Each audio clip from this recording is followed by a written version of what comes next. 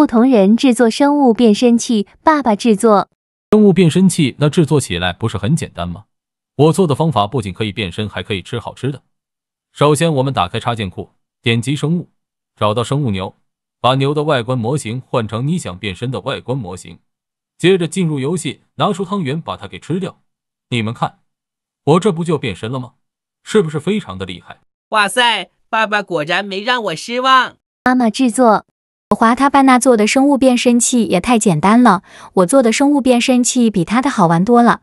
现在我就教你们如何制作。首先，我们在地上放一个方块，接着打开触发器，点击事件，点击玩家，选择玩家，点击方块，然后点击动作，点击玩家，选择改变玩家外观，外观类型换成随机外观模型。最后转换玩法模式，现在只要点击方块就会变身，而且变身的东西全是未知的，非常的好玩。